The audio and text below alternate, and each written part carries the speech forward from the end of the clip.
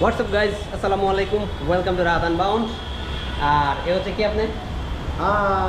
এ হচ্ছে BD biker Milton আর যে Milton যেটাই বলি আর এ মোটর প্রোভাইডার তো আমরা হচ্ছে এখন আসি মোহাম্মদপুরের বাস স্ট্যান্ডের যে উত্তরা মোটরসের শোরুম মানে বাজাজের শোরুম সেইখানে।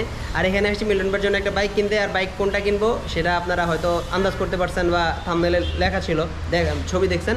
সেটা হচ্ছে প্লাটিনা এখন আপনাদের কোয়েশ্চেন আসতে পারে যে এই লোক চালাইছে হচ্ছে TVS Apache R T R one sixty four V four V চালানোর পরে প্লাটিনা কেন কিনে? এটার পিছনে একটা রহস্য আছে। মাঝে মধ্যে বড় কিছু পাওয়ার আশায় ছোট কিছু বা কোনো কিছু স্যাক্রিফাইস করতে হয়। ধরেন বিষয়টা ওই রকমই এবং আরও প্র- আরও ভালোভাবে রিজনটা বাইক হ্যাঁ। নিয়ে আসার পরে আমরা বল হ্যাঁ, শেয়ার হ্যাঁ, করতেছি। তো এখন ঘটনা হচ্ছে এখানে যে আসছি আমরা এখানে উনি আমি বলছি কথা বলে রাখতে এখানে উনি যেই কালারের বাইক কিনবে সেই কালার নাই। কালো কালারের প্লাটিনাটা নাই। এখানে কয়েকটা প্লাটিনা আছে। এটা হচ্ছে ওই যে এই যে, লাল কালারের এই দুইটা আছে, আর এই দুইটা আরেকটা আছে এইচ গিয়ার এটা মনে এইচ গিয়ার এটা একশো দশ সিসি প্লাটিনা হচ্ছে একশো সিসি তো এখানে রুবেল ভাই আছে। তো এখন ঘটনা হচ্ছে আমরা বিভিন্ন শোরুমে মানে বিভিন্ন পয়েন্টে কথা বলছিলাম, কোথাও কালো কালারটা নাই, এক জায়গায় পাওয়া গেছে, সেটা হচ্ছে সাইড ফিট তো আমি বাইক নিয়ে আসি না যেহেতু আমি তাই আমি যেতে পারতেছি না। আমার আবার এলিফেন্ট রোডে একটু কাজ আছে আমি ওখানে যেই কাজ করি। আর রুবেল ভাই নিউ বাইকার না new biker new biker Rubel blogs ওনার ইউটিউব চ্যানেল আপনারা ঘুরে আসতে পারেন। হচ্ছে বিডি বাইকার মিল্টন তো ওনারা দুজন যাবে বাইক নিয়ে আসবে নিয়ে আসার পরে আরএমোটো যেটা আপনারা অবশ্যই আমাদের যারা ফলো করেন তারা জানেন আরএমোটো মিল্টন ভাইয়ের বাইক অ্যাক্সেসরিজ শপ সেখানে গিয়ে ওই নতুন প্লাটিনাটা নিয়ে আপনাদের সাথে কথা হবে এবং কেন সে আরটিআর চেঞ্জ করে প্লাটিনা নিল সেই ব্যাপারে বিস্তারিত আলোচনা হবে। ভাই তাহলে দেখে শুনে নিয়ে এসে না? আল্লাহ হাফেজ তাহলে দেখা হইতেছে একটু পরেই হ্যাঁ। One eternity later. রে কি যত্ন রে আল্লাহ আল্লাহ আল্লাহ আল্লাহ আল্লাহ। চিন্তা করছেন? ভাই বালু লাগছে ওহ ওহ ও, বালু লাগছে বালু।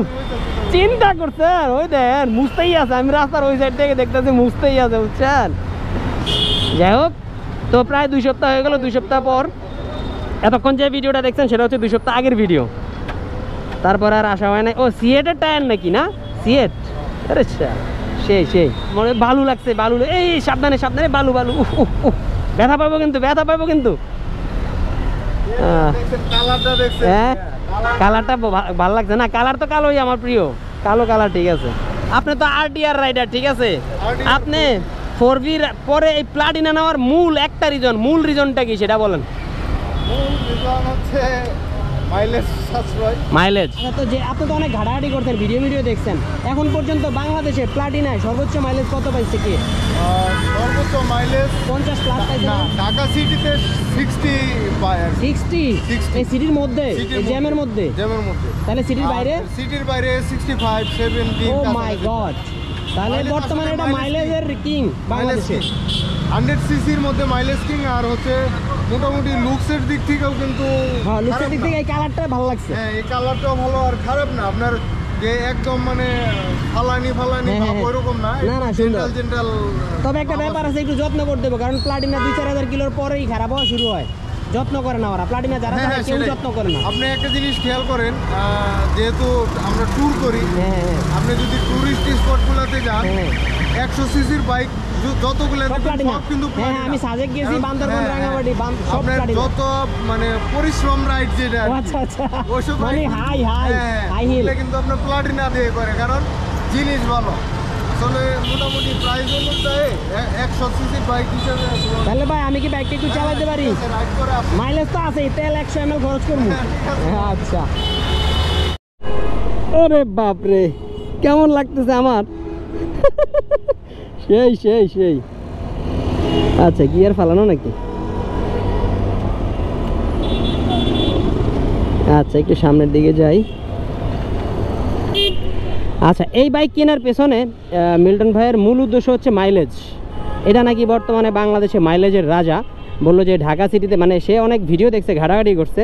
বলল যে ঢাকা সিটিতে একশো ষাট পাইছে। মানে ঢাকা সিটিতে তো অনেক জ্যাম আপনারা জানেন। এই জ্যামের মধ্যেও নাকি এটাতে মাইলেজ ষাট পাওয়া গেছে এবং হচ্ছে ঢাকা সিটির বাইরে হচ্ছে পঁয়ষট্টি ছেষট্টি, সাতষট্টি এরকম করে পায়। তার মানে কিন্তু বাইকটা খারাপ হবে না। মানে যদি কেউ, যারা মাইলেজ চিন্তা করেন যে আমার প্রচুর রাইড করা লাগে এবং আমার মাইলেজ বেশি পাইতে হবে, যেহেতু মানে ফুয়েল সেভ করতে হবে। তো সেই হিসেবে বাইকটা আমার মনে হয় একটা ভালো সিলেকশন তার, পুরাই আরামে বসতেছি আমি, পুরাই আরামে। মানে আমার পায়ের পজিশন হচ্ছে কেপিআর আমি বসে হচ্ছে উপর হয়ে, এইভাবে। আর এটার মধ্যে আমি বসছি একদম রিল্যাক্স সারাদিন চালাইলেও কিন্তু কোনো ব্যথা হবে না ওকে ব্রেকিং যদিও ডিস্ক নাই, এটার মধ্যে মেবি কম্বাইন্ড ব্রেক আছে। যান মামা, যান যান যান। আরে গিয়ার দিতে গিয়া বাড়াই, আমারটা তো সব সামনের দিকে। এটা হচ্ছে আমারটা হচ্ছে উপরে তুলতে হয়, এটা হচ্ছে গিয়ার নিচে দিতে হয়। তার কারণে আমি যেখানে গিয়ার কমাবো, সেখানে গিয়ার বাড়াই। Okay just Milton by four V rider হিসেবে এই বাইকটা কেন কিনলো, সেই জিনিসটা আমার মনে খটকা লাগছে। আচ্ছা এখানে একটু আমি দাঁড়াই।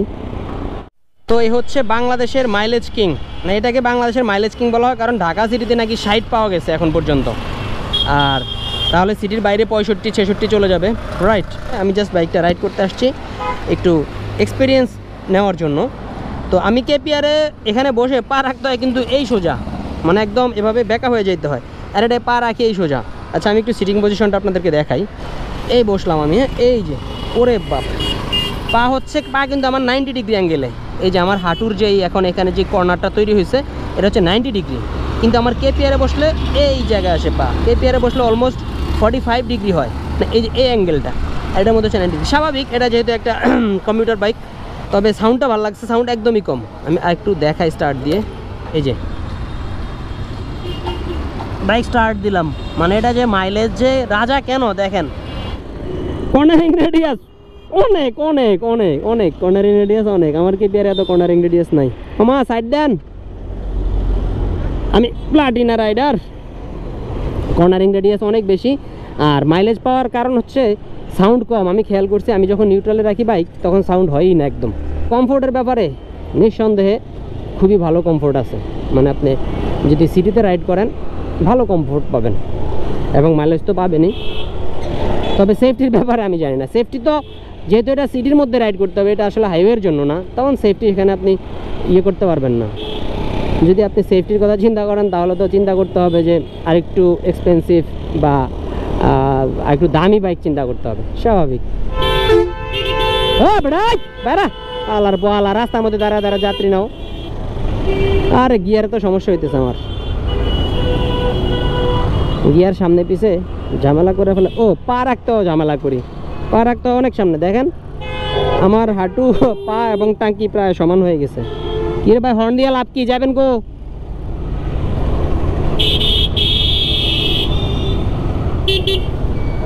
ওকে। যা ডার মারেন না মারেন না।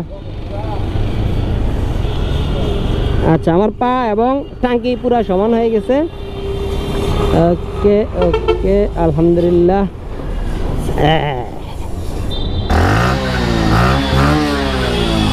এই হচ্ছে সাউন্ড। সাউন্ড নিউট্রালে রাখলে খুবই কম মানে শোনাই যায় না। এই জন্য হচ্ছে মাইলেজ বেশি পাওয়া যায় অ্যাকচুয়ালি কেপিআরে পা থাকে এভাবে, পায়ের যে মাঝখানের অ্যাঙ্গেলটা ফর্টি ফাইভ ডিগ্রি আর এটা হচ্ছে এভাবে নাইনটি ডিগ্রি অ্যাঙ্গেল এই জন্য অনেক কমফোর্টেবল আর কি। Okay that's all for today আমি কোনো পারফরমেন্স বললাম না, কিছুই বললাম না, আপনারা দেখে নিন আমি জাস্ট শেয়ার করলাম যে কেন আর ফোর বি বাদ দিয়ে এটা কিনলো সে। এটা হচ্ছে মাইলেজের জন্য, এটা নাকি সিক্সটি মাইলেজ পাওয়া যায় ঢাকা এবং ঢাকার বাইরে সিক্সটি ফাইভ তো মাইলেজের জন্য অনেক ভালো, যারা চিন্তা করেন যে মাইলেজ দরকার আপনাদের, তাহলে আপনারা দেখতে পারেন। আর যদি মনে করেন যে না, আপনাদের একটু পাওয়ার দরকার পারফরমেন্স দরকার। কম টাকায় তাহলে আপনারা কেপিআর দেখতে পারেন। তাও আমি কম পাচ্ছি না, আমি ফর্টি ফোর পাচ্ছি mileage that's all for today পরবর্তী ভিডিওতে আবার দেখা হবে। ততদিন পর্যন্ত ভালো থাকবেন, সুস্থ থাকবেন চিল করবেন। আল্লাহ হাফেজ। আসসালামু আলাইকুম। পিস